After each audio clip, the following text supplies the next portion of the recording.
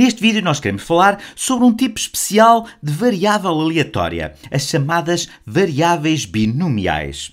Então, as variáveis binomiais são interessantes por si só, porque são um objeto matemático interessante, mas para além disso têm muitas aplicações em probabilidade e estatística.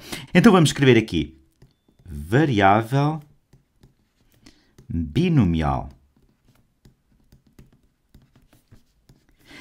Muito bem, vamos começar por ver um exemplo bem concreto e depois já vamos formular isto um pouco mais teoricamente. Então, vamos supor que nós temos aqui uma moeda.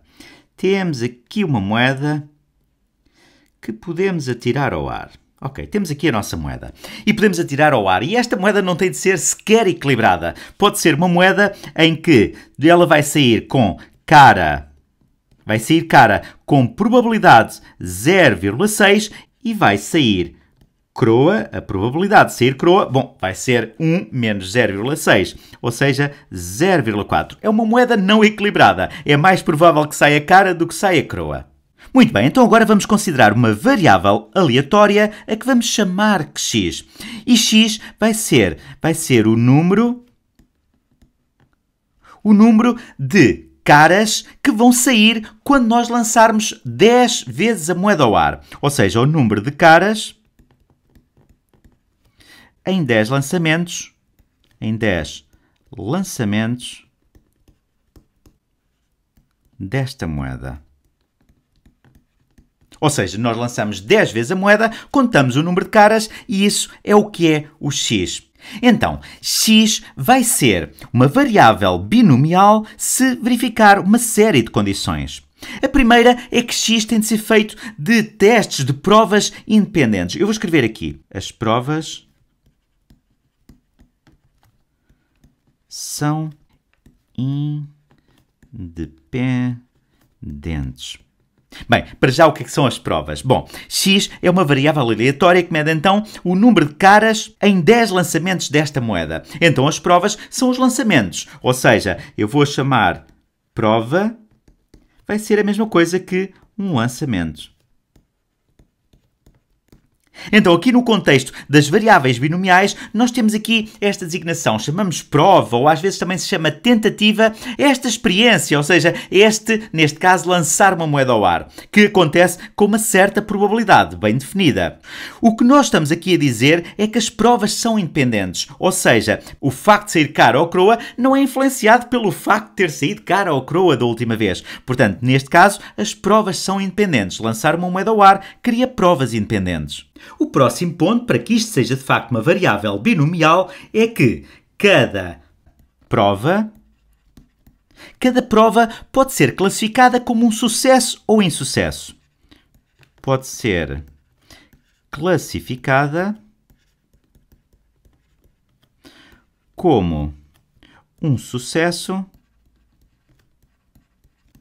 ou insucesso sucesso. Reparem, isto não quer dizer que um dos resultados seja realmente melhor do que outro, seja realmente um sucesso e outro um insucesso. Só quer dizer que cada prova pode ser, pode ter dois resultados possíveis. É isso que é importante. Esta coisa do sucesso e insucesso é mais um calão das probabilidades. Normalmente, neste caso das variáveis aleatórias, nós chamamos sucesso ou insucesso. Por exemplo, neste caso, nós podemos classificar como sucesso sair caras e como insucesso sair croas. Cada prova só dá ou cara ou croa. Portanto, só há dois resultados possíveis. A um deles nós chamamos sucesso e ao outro chamamos insucesso. A próxima condição é que temos de ter um número bem determinado de provas, ou seja, temos de ter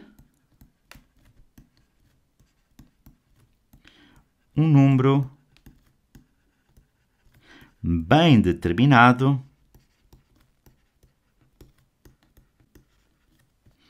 de provas. Neste caso, são 10. Nós lançamos 10 vezes esta moeda e depois contamos o número de caras. E finalmente, temos uma última condição. É que a probabilidade de sucesso, daquilo que nós chamamos de sucesso neste caso, em cada, em cada prova, tem de ser sempre a mesma. Ou seja, a probabilidade. A probabilidade de sucesso em cada prova é sempre a mesma.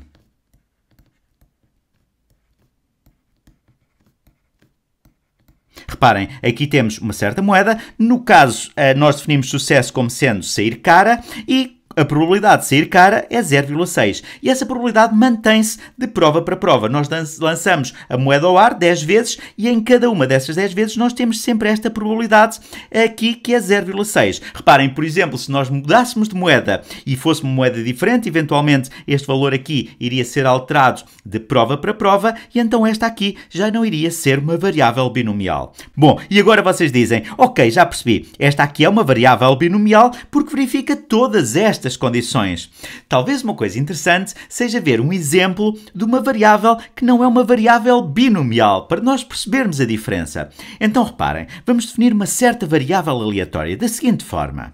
Então vamos considerar y como sendo o número de reis o número de reis que saem quando nós tiramos duas cartas de um certo baralho. O número de reis quando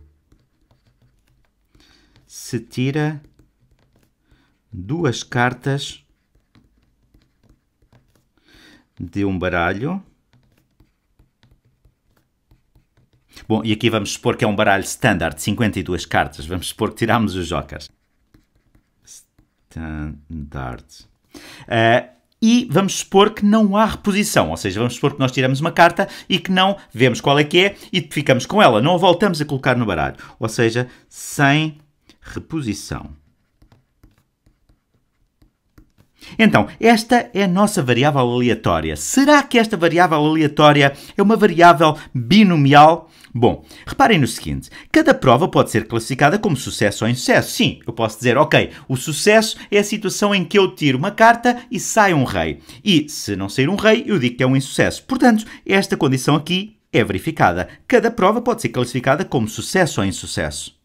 Depois também podemos dizer que temos um número bem determinado de provas. Vamos supor que aqui neste caso uma prova é tirar uma das cartas e temos um número bem determinado. Nós queremos tirar duas cartas, tal e qual como aqui, queríamos lançar 10 vezes a moeda ao ar. Portanto, aqui temos também um número bem determinado de provas. Mas vamos ver o que é que acontece com estas duas. Vamos pensar assim.